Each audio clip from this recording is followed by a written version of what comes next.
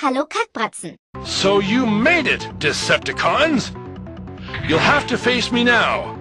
Prepare to be hurt. Wer denkt, dass es nur auf der PS1 oder PS2 ziemlich seltsame Spiele gab, der irrt gewaltig. Auch schon früher wurden Spiele zum Bleistift auf dem Super Nintendo auf den Markt geworfen, bei denen man sich fragt, was für schlimmes Gras die Entwickler geraucht haben. Eines dieser Spiele, das genau in diese Kategorie passt, ist das von Sunsoft entwickelte und 1995 für den SNES veröffentlichte Dia Tonosama Apare Ichiban.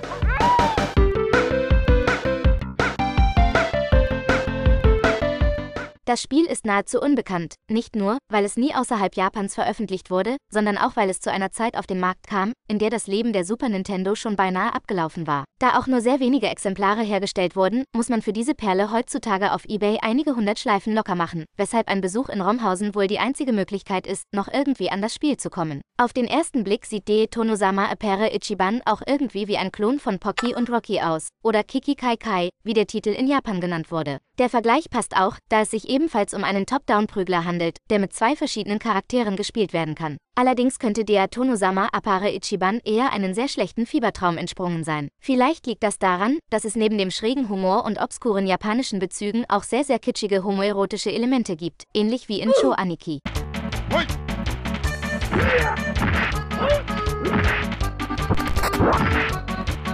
Die Hauptdarsteller sind verweichlichte Nulpen, die sich in muskelbepackte Kerle verwandeln können. Es gibt auch kaum weibliche Darsteller im Spiel und man trifft zuhauf auf stämmige Anabolika-Typen, die gerne ihre Muskeln in sehr anzüglichen Posen zur Schau stellen.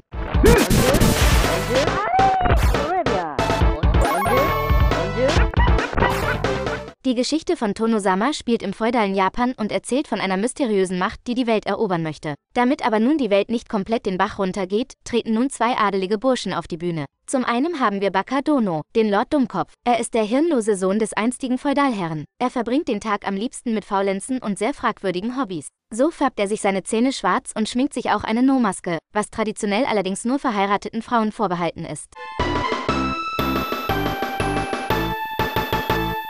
Dies missfällt dem Geist seines verstorbenen Vaters allerdings so sehr, dass er deswegen aus seinem Grab zurückkommt, um ab und an in den Körper seines Sohnes zu schlüpfen, damit die Welt nicht gleich nach fünf Minuten in den Arsch geht. Donos Lieblingswaffe ist der Tessen, ein japanischer Kriegsfächer, der allerdings nur eine sehr geringe Reichweite hat. Zu ihm gesellt sich Baka Uji, der Prinz Dummkopf. Der ebenfalls leicht homoerotisch angehauchte Dandy ist ein französischer Prinz, der einst an der Küste Japans gestrandet ist. Seine Leidenschaft ist der Tanz und ist von daher auch fluffiger unterwegs als sein Freund Lord Dummkopf. Seine bevorzugten Waffen sind Rosen, die er in alle Himmelsrichtungen feuern kann. Sein Angriff ist zwar viel schneller, aber insgesamt auch viel schwächer. Und auch der Prinz kann sich in seinen muskulösen verstorbenen Vater verwandeln.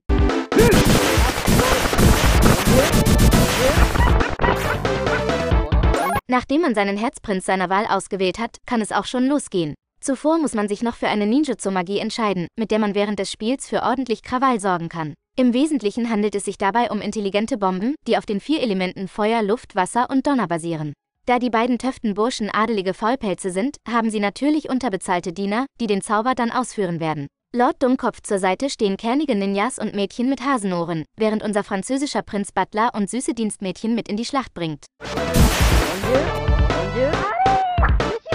Abgesehen von der Thematik rund um die zwei warmen Brüder gleicht der Tonosama Apare Ichiban der Gameplay-Mechanik von Kiki Kai Kai wirklich wie ein Ei dem anderen. Auch das Level-Auswahlmenü hat man anscheinend beinahe eins zu eins kopiert. Der grafische Stil unterscheidet sich nur ein wenig. Er ist weniger niedlich, dafür etwas realistischer und kommt mit dumpfen Farben daher. Aber dennoch bietet Tonosama wirklich eine Auswahl schön gestalteter Level mit Reisfeldern, einem stimmungsvollen Himmel, bis hin zu den schön gestalteten Korridoren des Tokugawas Palast. Die beiden Jungs können angreifen, springen, einen kurzen Sprint machen, um Feinden und Projektilen auszuweichen, und Magie einsetzen. Beide verfügen außerdem über einige Spezialbewegungen. Die sind aber in der Regel komplett nutzlos, da die Ausführung eine Ewigkeit dauert und bis endlich mal was passiert, haben uns die Feinde bereits alle Zähne eingeschlagen.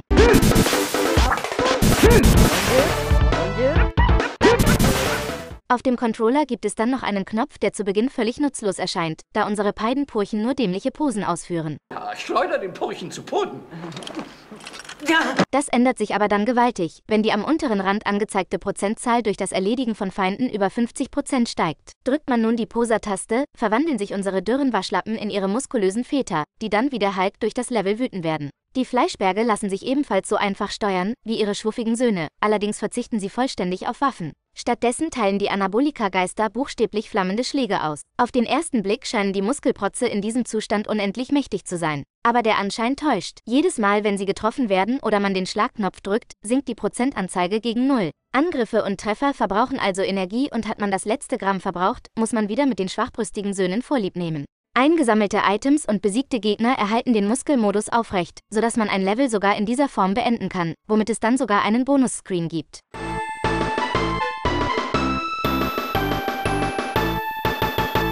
Die Väter verfügen außerdem über einen besonderen Verzweiflungsangriff, bei dem sie ihre gesamte verbleibende Tonosama Great Energie für einen einzigen extrem kraftvollen explodierenden Schlag verbrauchen, was für einen gewaltigen magischen Angriff sorgt. Diesen enormen Gewaltakt sollte man vielleicht eher für Bosskämpfe reservieren.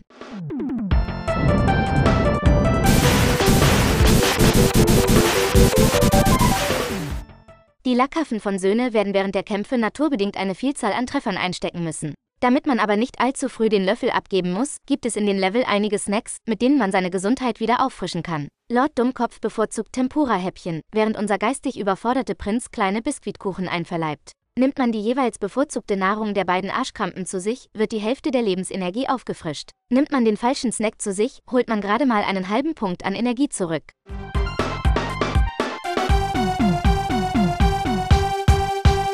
Das ist im Prinzip auch schon alles, was man zum Gameplay wissen muss.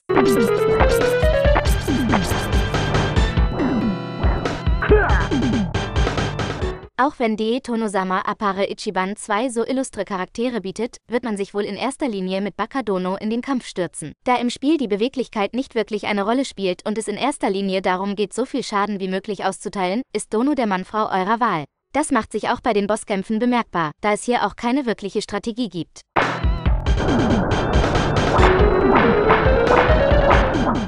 Man prügelt auf die Tasten und versucht die Geplänkel mit roher Gewalt und nicht mit Hirn zu lösen. Es gibt nur einen Gegner im Spiel, bei dem man mit schnellen Schlägen in die Fresse keinen Blumentopf gewinnen wird. Beim absolut nervigen Kampf gegen den Sultan auf seinem fliegenden Teppich wird man nur dann gewinnen, wenn man die auf dem Bildschirm verteilten Ölfässer in dessen Richtung ballert.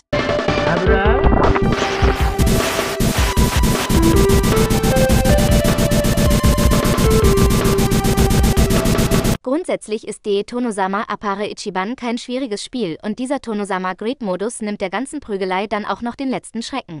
Die muskulösen Väter sind imstande, selbst die schwierigsten Bosse in Sekunden zu breit zu schlagen. Manchmal ist sogar nur eine einzige Backpfeife nötig und der Kampf ist schon gewonnen. Im Muskelmodus verliert man auch keine Lebensenergie und fällt man ins Wasser, erleidet man nur minimalen Schaden an seiner Tonosama-Anzeige. Für den geübten Spieler bietet Dei Tonosama Apare Ichiban absolut keine Herausforderung. Die Prozentanzeige wird im Nu aufgefüllt und mit Gameplay-Techniken wie den intelligenten Bomben, den Verzweiflungsangriff und unendlichen Continues kann das Spiel auch von all jenen durchgespielt werden, die schon als Kind zu viel Lack gesoffen haben.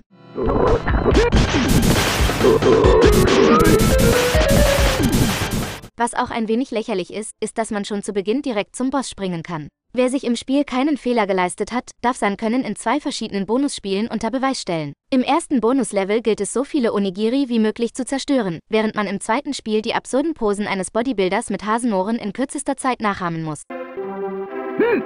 Oh. Hm. Oh. Hm. Oh. Das ist vielleicht der Höhepunkt des Spiels. Als Belohnung winkt entweder ein zusätzliches Leben, was bei dem ohnehin schon niedrigen Schwierigkeitsgrad eine Verschwendung ist, oder man erhält eine zu 100% aufgeladene Tonosama Grid Anzeige, mit der das nächste Level zum Kindergeburtstag wird. Wie gesagt ist De Tonosama Apare Ichiban rein technisch gesehen nicht das beste Spiel aller Zeiten und grundsätzlich kann man auch beide Pfade in wenigen Minuten durchspielen.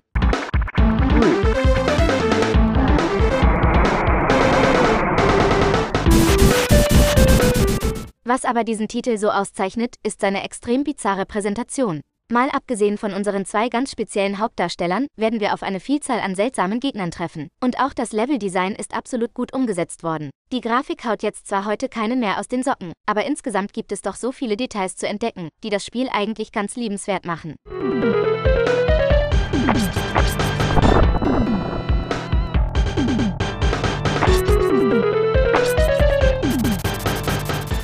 Musik ist im Prinzip ganz fetzig und passt zur Thematik. Mit der Zeit werden die immer gleichen Beats aber einem auf den Zeiger gehen, bis einem das Blut aus den Ohren laufen wird. Das Ganze wird dann noch schlimmer, wenn sich die beiden Waschlappen in ihre Väter verwandeln.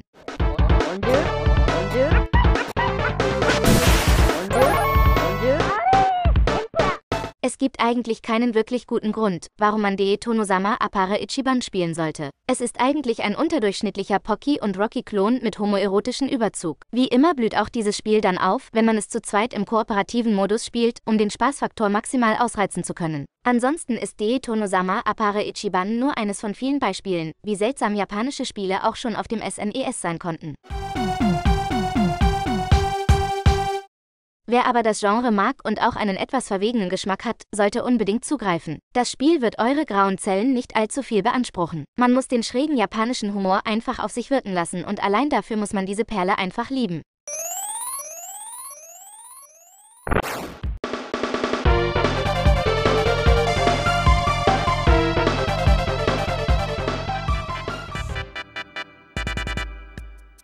Das soll's für heute gewesen sein. Ich würde mich freuen, wenn ihr auch das nächste Mal wieder einschaltet. Wenn ihr wollt, hinterlasst einen Kommentar oder abonniert diesen jämmerlichen Kanal. Tritra Trolala.